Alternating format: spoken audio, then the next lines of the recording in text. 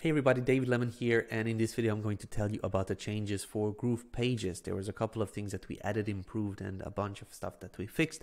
So I just wanted to let you know so you are aware.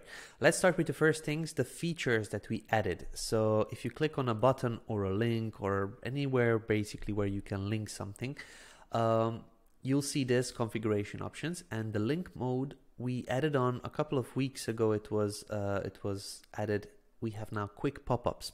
Quick pop-ups were done uh, previously for pages, blocks, URLs, blogs, cards, and things like that.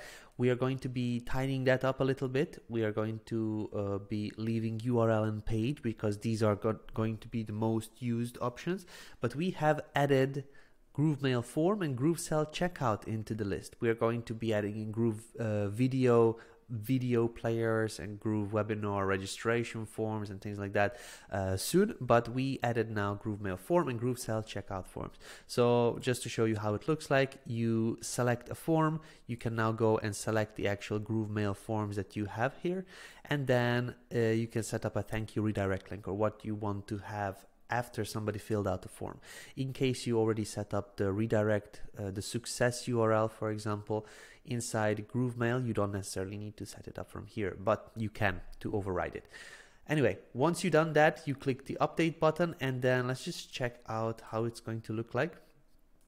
I believe I did uh, that already before. So it's going to just very quickly open up uh, a form like this one. Very soon we'll have customization options for the form. So you can change the colors, change the sizing, change the fonts, change the borders, change everything on it. And that's coming real soon.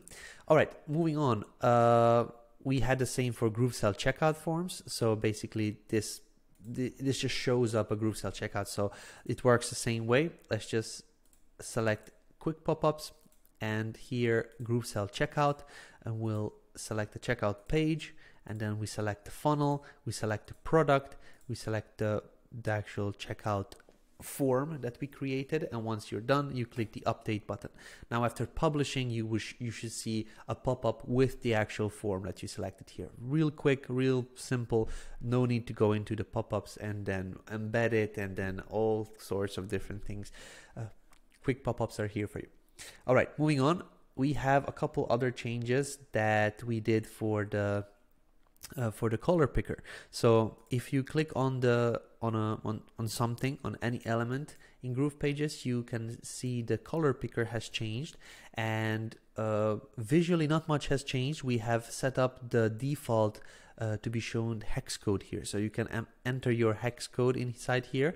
Uh, but what we added on is the recently used colors. For example, if I click on this one, all right, and if I close it and come back, we now you have these last used colors which are showing up so that you can reuse them later on for other elements. Like for example, I want to come and, and add this button to have the same color as the other one. I'm going to just come here and that's basically it. So real quick, just using the last last use colors. I need to mention that whenever you now uh, save and reload your browser, the saved colors won't be there anymore. We are doing this for optimization so that the the builder is is remaining fast so that we don't save these colors for a long time uh, because that adds up and that would slow down the system a little bit. So now we are saving the last use colors until you reload the page. All right? Moving on we have added the new color picker for the text editor as well. Like for example you select a piece of text. We now have the same color editor or the color picker with your last use colors that you used in the style editor. So now you have the, the same colors that you can use and you basically click the checkbox or the check mark and now you can use the same colors on text as well. All right, so these were the new features that we added. Let's move on to the improvements. Uh, we now have sorting of templates by last created. So whenever you go and add a new page, we now have the sorting of templates by the last created. So if you want the freshest templates on here, you can now see the ones that were that were created last. With the new template library, it's going to be uh, the same, but we are going to be uh, we're going to be uh, categorizing the the templates a little bit different. So these are the last templates that we created in this template library. All right, when you are adding a video, which I don't think I have right now, so let's just go into an elements uh, the elements drawer, set up a video player over here. So when you're setting up a video and select Groove Video, we increase the Groove Video uh, number of videos that show over here to 20. Previously, I believe it was 5 or 10 maybe, but now we are showing uh, 20 videos so that you can select them over here. It will take a little bit more time to load in here, but uh, but now we are showing 20 videos so that you don't have to search for them specifically. You can just real quick uh, click inside over here and you'll have the 20 videos. In case you want more, then you can click on here more and then search for them. All right. But by default, we are we are showing you the 20 over here. Uh, changing the switch color in the countdown timer style so it matches the regular switches we're using. All right, so let's just say that this is my countdown timer and I am selecting it over here. If I select one of these elements that I can style, now we had previously added this switch that applies the style to all of the of the elements and now we have just changed the colors a little bit so it matches the styling of the other menu items inside the groove pages.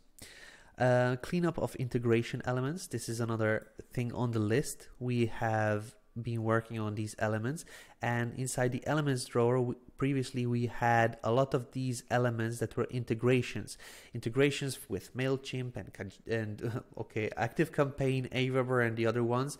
Those are not needed because those are really just forms. So now you can use forms and connect them to groovemail and had integrations that way or you can build your your forms uh, using the form elements over here and just integrate with with uh, Aweber or Active Campaign or the other ones.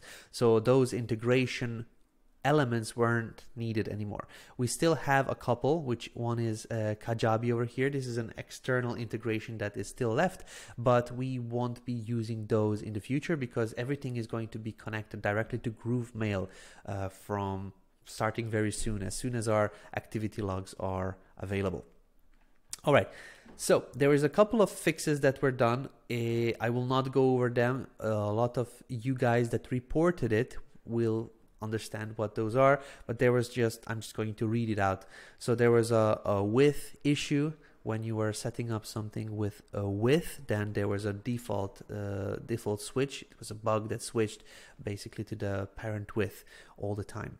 So isometric patterns, the slider weren't wasn't working when you were setting the the patterns, and then the transparency and then the the the busyness of the patterns weren't adjusting properly. Missing pattern properties on a clone page. When you applied uh, patterns on the background or uh, background of your block and you cloned that page, those patterns weren't showing on the cloned, cloned page. Uh, when you created a pop-up, in a button there is an option to have the, the button close the pop-up. That functionality, that setting to close the pop-up wasn't working. Now that's fixed as well.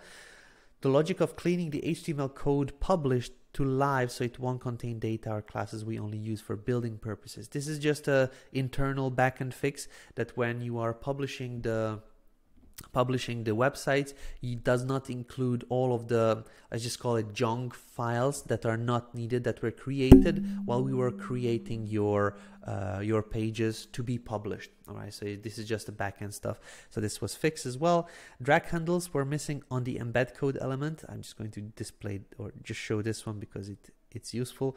Previously, when we had a code embed element somewhere over here and you wanted to drag it over to, to somewhere else, this move this drag handle uh, option wasn't showing. Now it's now it's back and we have fixed on many many many bugs and warnings that were generated by a lot of new improvements that we added to Groove Pages recently. So now 90% um, of those bugs and warnings are not showing anymore. So the warnings were showing up here when you were publishing or when you were changing something and saving. Then there was all sorts of different warning messages coming over here in the in the corner. Now that is um, the majority of those things are fixed. All right, so that's it basically for this release. We have done a, a, lot of bug fixes, a couple of improvements, a couple of new cool things that we added. We are preparing a bunch more stuff to come in the couple of uh, the next couple of days. So stay tuned. Bye for now.